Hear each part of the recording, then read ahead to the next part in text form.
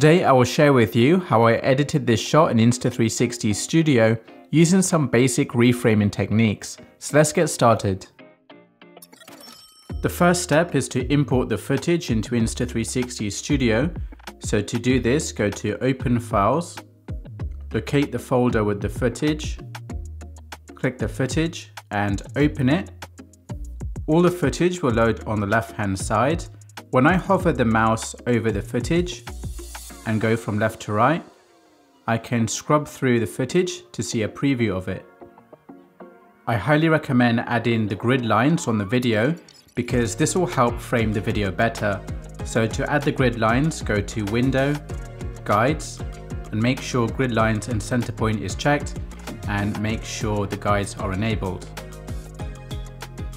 For this particular project, I am editing in the Media tab because this is for editing a single 360 video at a time and exporting it. If I wanted to edit multiple 360 footage into a single timeline, then I will use the project tab. I can click and drag this preview section to look around and reframe the 360 video.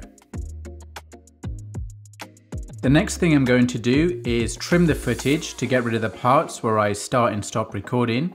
So I need to trim the start and end of the footage. So to do this, I'm going to click on the timeline and drag up until I finish setting up the camera. And then I start walking.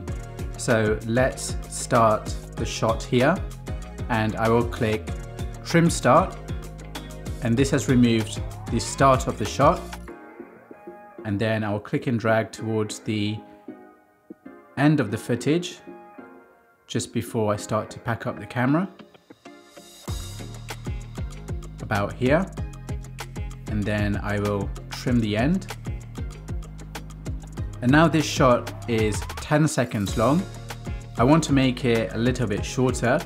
So I'm going to go to 7 seconds in the timeline and click here. Trim the end and now I have a 7 second shot which is ready to start reframing. Reframing is basically telling Insta360 Studio where to look in the 360 video and how should it look at a specific point in time. So to reframe this 360 shot, First, I will go to the beginning of the timeline to choose how I want the shot to look like at the beginning. I will add a keyframe and a keyframe decides what the shot will look like and where to look. So I can choose where to look by clicking and dragging on the screen, or I can use these buttons and you can tell by the arrows that it's going to move left and right, up and down. This is going to rotate this is the field of view, which is kind of like zoom. And this is distortion, where you can have less or more fisheye distortion. And by distortion, I mean curvy lines and straight lines. So if I go towards zero, there is less curved lines. And if I go towards one, there is more curved lines. So at the beginning of this shot, I want my audience to see the mouth because it's pretty unique and weird. So I'm going to put it in the middle.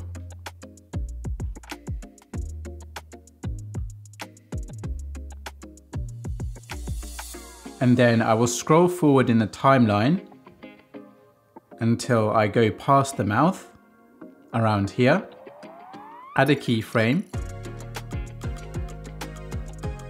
I'm going to change the tilt to zero to straighten the horizon. And now the horizon is straight. And then one second later in the timeline, I want to turn around to look back at myself. So I will add a keyframe here and look back at myself. And if I play this back, you'll see the transition between these keyframes going from the view of the rice terrace to myself.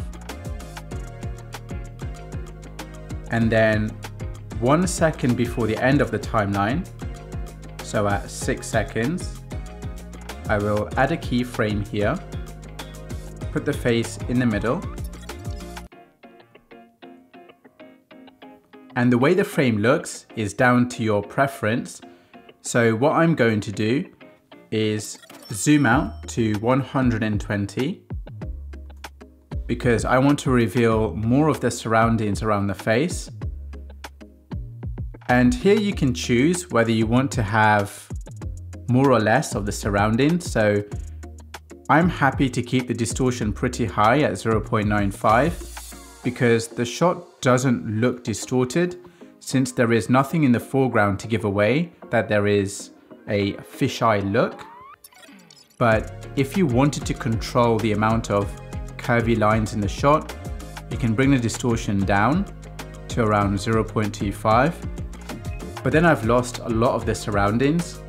So I'm okay to bump this all the way up to reveal more of the surroundings because it looks nicer, in my opinion. Then I'll go to the end of the timeline, make sure the face is in the middle, and add a final keyframe. So now when I play this back, the shot looks like this.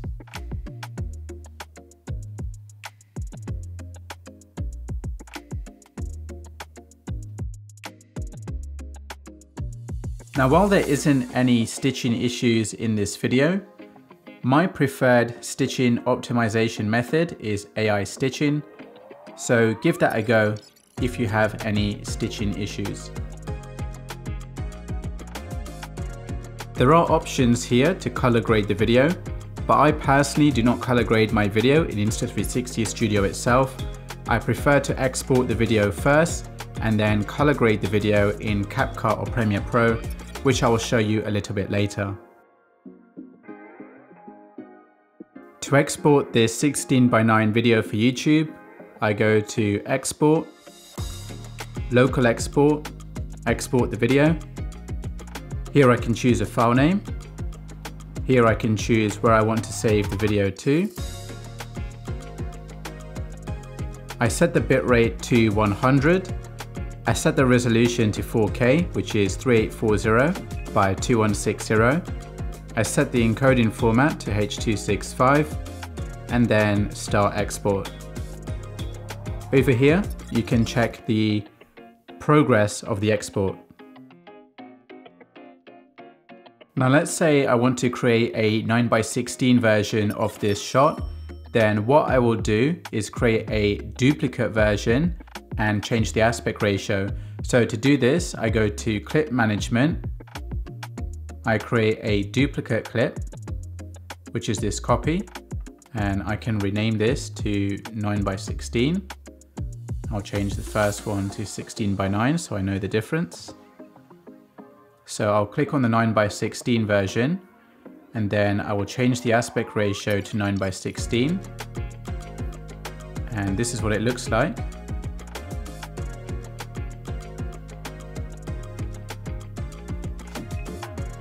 So I think it looks very distorted towards the end. So what I'm going to do is bring down the fisheye distortion. So let's try 0.5. Let's bring it down to 0.25 and see what that looks like. And let's bring down the zoom to around 90. So that looks better. So then I will go to the next keyframe and apply the same settings.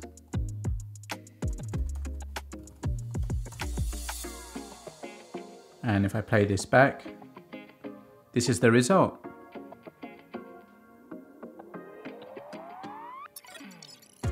Then to export this video, I will go to export, local export, video, choose a file name, choose where to save your video to.